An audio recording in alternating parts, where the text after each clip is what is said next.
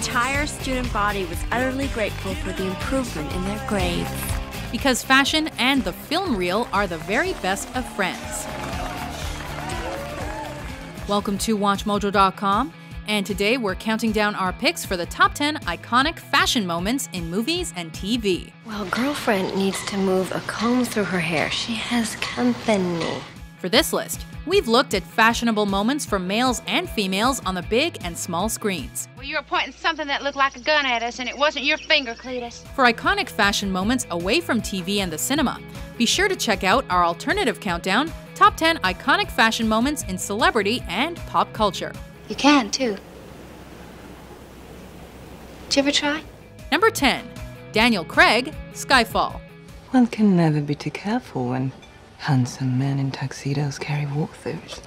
To start, something subtle but seriously stylish. James Bond is a celebrated male fashion icon, Am I uh, properly dressed for the occasion? Quite suitable. but one of the most recent outings might be his most memorable. What exactly are you implying? As if Skyfall wasn't slick enough, the costume design department's decision to dress Daniel Craig in a midnight blue tuxedo was genius. I made my own choices.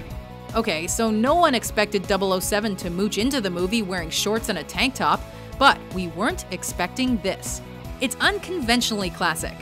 Not bad. In some circles, navy blue tuxes are considered even fancier than black tie, and in this case, we'd have to agree. Blue is definitely the new black. Well, first time for everything. Yes. Number 9. Olivia Newton John, Grease. Oh, come on, guys. You know you mean a lot to me. It's just as Sandy does too. And It's graduation day at Rydell High, but things are not as they should be. Danny Zuko's come uncharacteristically as a jock, hey, hey, what is this, Halloween? but an even bigger shock is in store. When Sandy Olsson turns up in tight black leather, the look on John Travolta's face tells the entire story. Sandy? Tell me about it, stud. As an original good girl gone bad, Olivia Newton John takes full control at the fair and earns a place in fashion's Hall of Fame by doing so. She's the one that he wants, but we all want a piece of her. Number 8. Diane Keaton, Annie Hall. Well, bye. To be a fashion icon, you have to be a trendsetter, That's a polite word for what you are. and Diane Keaton was definitely that. I look pretty. Well, yeah, you always look pretty. She was uncool before it was cool to be uncool, which is very hard to do, especially in Hollywood. Annie Hall is a showcase of strange get-ups, and Keaton is the perfect model who takes typically male pieces and makes them work for the women. And I love what you're wearing. Oh, you do? Yeah? Oh, well, it's, uh, this is a, this tie is a present from Grammy Hall. We're talking big ties, mismatched shirts, and headwear. Lots and lots of headwear. She bucks the trend beautifully and reminds us that there is more than one dress code for life. Alvy, I can't say that that's true at this point in my life. I really just can't say that that's true. Number 7. The series Sex and the City. Hello, lover. Everything about this show is style. Debuting in 1998, the first episode of Sex and the City is an iconic moment in itself. But the six seasons that followed were just as full of beautiful brands, dazzling dresses, handsome handbags, and striking style selections, both good and bad. Oh my God, she's fashion roadkill. Each girl had their unique fashion facade, but Carrie Bradshaw was the woman to watch. Well, that's my department. From daytime tutus to vintage finds to couture gowns and everything in between, this New Yorker expresses herself through style. Carrie, you have to do it. You live for fashion. I do not live for fashion. But all the girls know how to shop, and they know how to show it off too. Well, that's just fabulous. Number 6. Catherine Bach, The Dukes of Hazzard. Hey, don't forget we got plans later. Get your cotton pick and paws off. Catherine Bach as Daisy Duke isn't just a trendsetter, she's a trend definer. Cut off denim hot pants are such a staple requirement in any girl's or boy's wardrobe today that it's almost easy to overlook why they're there. Here you go, honey. When the Dukes of Hazzard hit TV screens at the end of the 70s, there was a lot that caught the viewer's eye. but nothing more so than the show's leading lady and her outfit of choice. So much leg, so little fabric. Hey, I'm sorry, but we're not open for lunch, ma'am. It was a look that everyone wanted, and it's a look that everyone still wants. Well, there ain't nothing wrong with old boss's eyes. Number 5. Alicia Silverstone, Clueless. Mr. Hall was way harsh. He gave me a C minus. When it comes to fashion, the title of this movie couldn't be further from the truth. So, the flannel shirt deal, is that a nod to the crispy Seattle weather, or are you just trying to stay warm in front of the refrigerator? Lead actress Alicia Silverstone is either ironically iconic or iconically ironic. Either way, she looks good. Do you say that it's a bad thing? The 90s rich kid character might not be the model for the masses, but the array of awesome clothes is really quite cool, fiercely feminine, and pretty preppy. I don't get how guys dress today. I mean, come on. It looks like they just fell out of bed and put on some baggy pants and take their greasy hair, ew, and cover it up with a backwards cap and like, we're expected to swoon?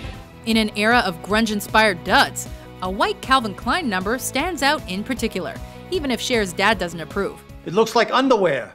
Go upstairs and put something over it. I was just going to. As does the classic canary yellow combination that Silverstone wears to school. Pretty groovy, huh? Number 4.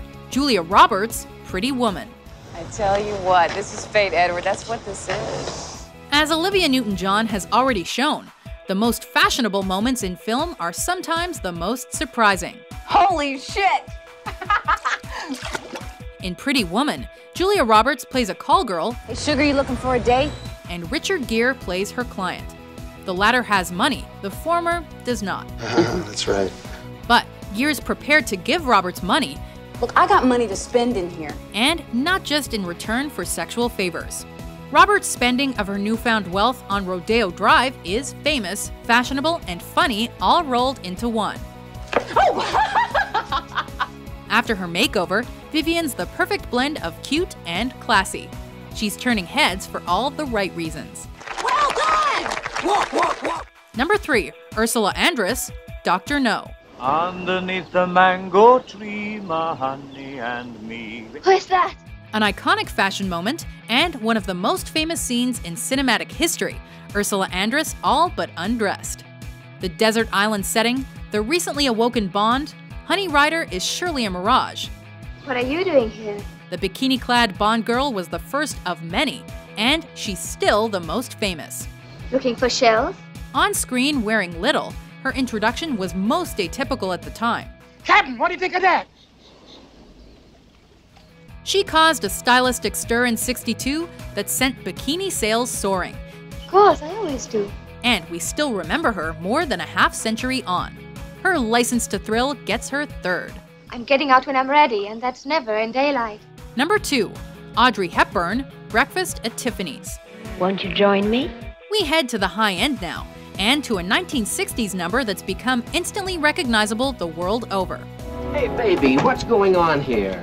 Audrey Hepburn's little black dress had it all elegance, class, style, and sex appeal. What happened to you anyway? You take off for the powder room, and that's the last I see you. Topped off with a tiara, gloves, and cigarette with holder. Hepburn's Givenchy look proved a huge hit then, and it provides a rule of fashion now. Dressed up or dressed down, the LBD is VIP in any wardrobe. And that's all thanks to one of the 20th century's leading ladies. Good night.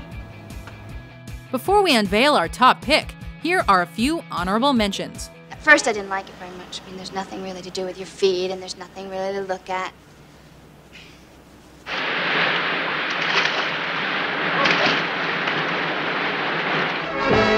They once had a shooting up in the Klondike. On est charmant, elle est jolie, c'est pas un soir de gai printemps. What a lovely dress, Scarlett, darling.